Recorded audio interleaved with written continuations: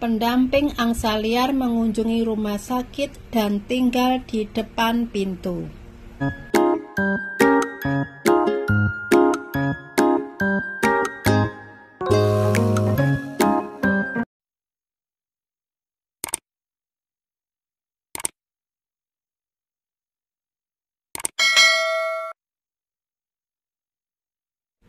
Angsa liar terluka dan dirawat di rumah sakit untuk perawatan. Pendamping angsa mengunjungi rumah sakit dan tinggal di depan pintu, tidak pernah pergi.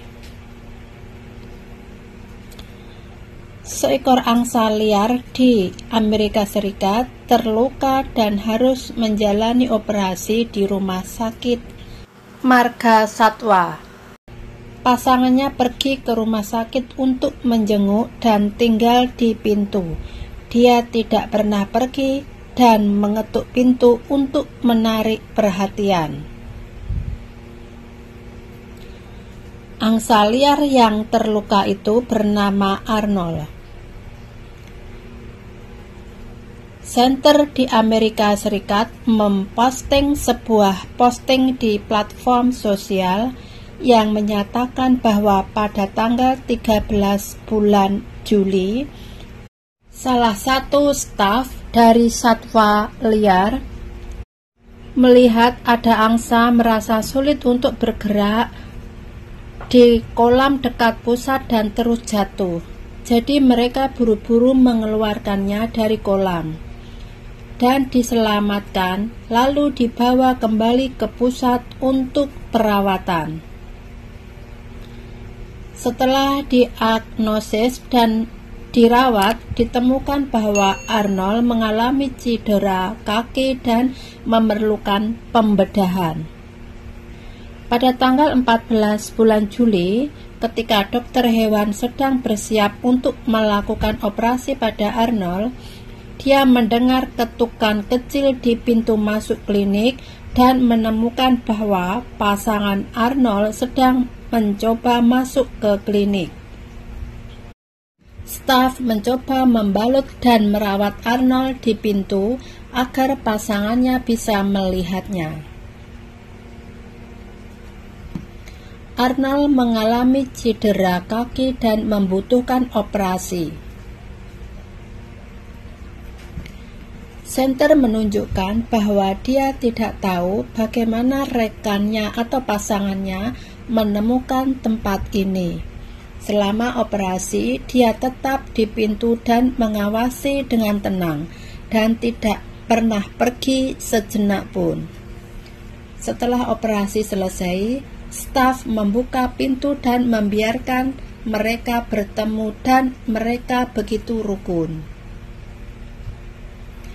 Pusat tersebut menyatakan bahwa Arnold akan membutuhkan beberapa minggu perawatan untuk pulih. Selama waktu ini, dia akan mencoba membalut dan merawat Arnold di pintu agar pasangannya bisa melihatnya.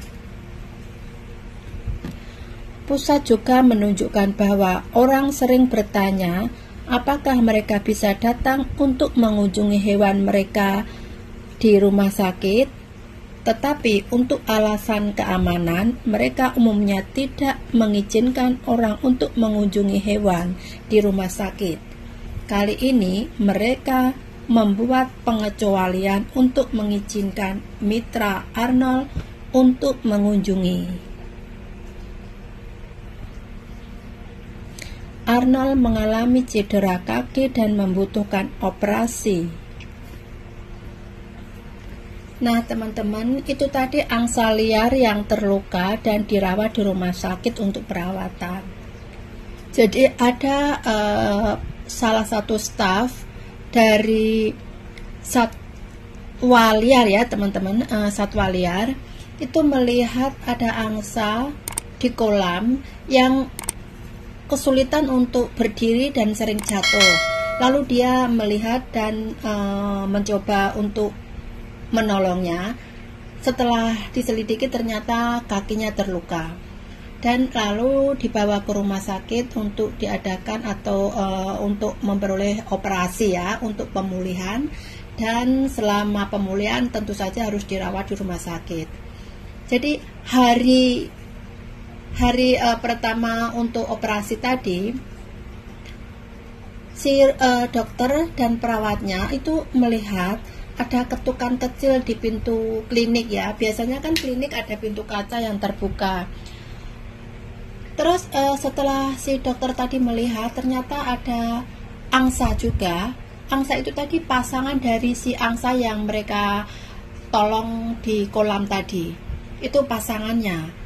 Lah dokter tadi terkejut kok dia tahu dan bisa datang ke rumah sakit atau ke klinik itu tadi bagaimana ya? gitu akhirnya si dokter tadi membiarkan si angsa pasangannya tadi di depan pintu untuk melihat Arnold uh, dioperasi jadi selama operasi, si angsa pasangan dari Arnold tadi tetap berdiri tenang di depan pintu dan melihat ke dalam klinik, melihat si Arnold dioperasi. Jadi eh, dokter sengaja membiarkannya dia melihat di depan pintu, jadi tidak mengganggu atau tidak mengusirnya. Dan setelah operasi selesai, eh, si dokter membuka pintu klinik tadi dan membiarkan pasangan Arnold uh, masuk dan mungkin berbincang-bincang atau mungkin bercakap-cakap untuk menumpahkan rindu atau menanyakan kabarnya gitu ya teman-teman. Jadi sama si staff dan uh, dokter tadi dia membiarkan Arnold berkunjung dan melihatnya sewaktu-waktu selama perawatan. Tentu saja si Arnold ya gembira dan itu mungkin bisa membantu memulihkan sakit bekas operasinya. Jadi si dokter memang baik hati ya membiarkan mereka saling bertemu melepas kangen atau menanyakan kabarnya gitu. Jadi bagi Arnold tidak kesepian dan bisa membantu kecepatan penyembuhan dari operasi kaki tersebut. Oke teman-teman terima kasih telah menonton video ini sampai selesai dan jangan lupa untuk menekan tombol subscribe, like, share, dan bunyikan lonceng agar teman-teman bisa selalu mendapatkan info terbaru. Terima kasih.